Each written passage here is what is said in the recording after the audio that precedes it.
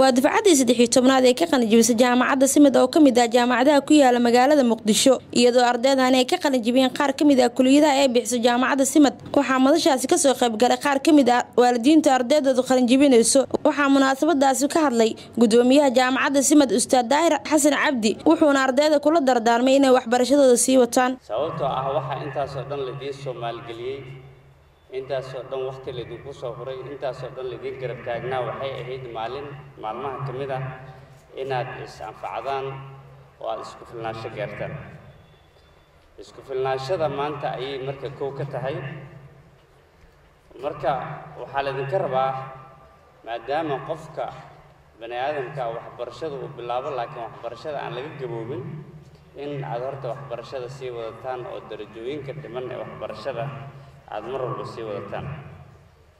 Waxaa laydinkaga baahan yahay inaad bulshada wax ku soo kordhisaan oo waxa ugu horreysa soo kordhinaysaan ay noqdaan inaad fursado shaqo iyo mid wanaagsan oo dadkan anfacaba aad u soo kordhin lahayd ugu soo kordhisaan intii aad noqon lahaydeen dad shaqooyin raadi waxaa maanta laydinka sugayaa inaad tusaale wanaagsan u noqotaan bulshada aad la nooshihiin si jiilalka idinka dambeeya aada tusaale wanaagsan oo ay ku daydaan aa u noqotaan. Waxaa laydinkaga baahan yahay dabcan inaad garab istaagtaan waalidiin waalidkiin oo in muddo ah idin soo garab taagnaa oo maanta oo kale sugaayay in ay timaado si aad xirfad iyo aqoon aada u heshaan. Waxaa laydinkaga baahan yahay inaad adeegayaal u noqotaan bulshada aad ku nooshihiin iyo ummadda aad ka nooshihiin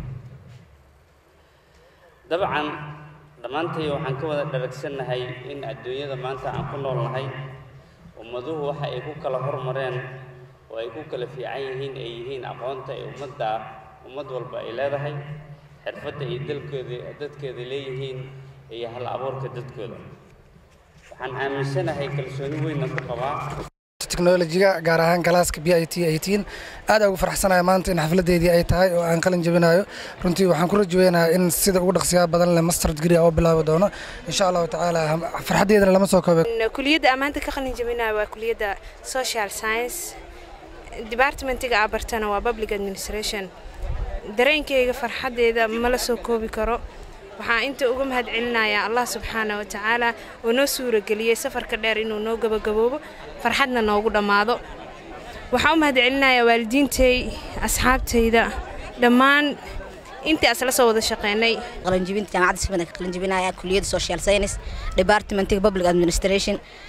Maanta farxad weyna ii tahay inaa heer badan oo waqti badan aan sugayo maanta aan gaaro iyo hamigayga ugu hore waxaan u mahad celinaya allah subxaana wa tacaala marka xigta waalidka iyo walaalihii igu sii dhiirigeliyey ilaa intaa inaan soo gaaro. Farxad weyna ii tahay hambali hambali maantii maantii aad aa u faraxsanaya ugu dambeyn qaar ka mid a ardaydaasi maanta ka qalinjibiyeen jaamacadda simad oo mikrofonka la dhex qaadaya dareenkooda ka waramay waalidiinta aad ugu mahad celinaya. Runaantiina adinkana aad ay u mahadsantihin. Axmed ibraahim cismaan ardayda qalan jibisay macallimiinta barofesoorada waa mahadsan yihiin. Jazaaka allah khayr ardayda qalin jibisayna waxaa laga rabaa macallimiin ayagana dadkii wax soo bareen inay wax baraana berrito ummadda soomaaliyeed ay wax u qabtaan.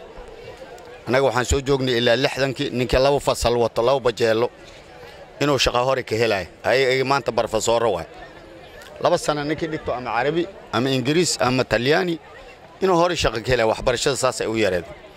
Marka edab iyo naamuus dadkii wax soo barina inay berri magaciisa waalidiinta ay dhaqaaleeyaan akhlaaq ay lahaadaan mujtamaca waddanka ay wax u qabtaan.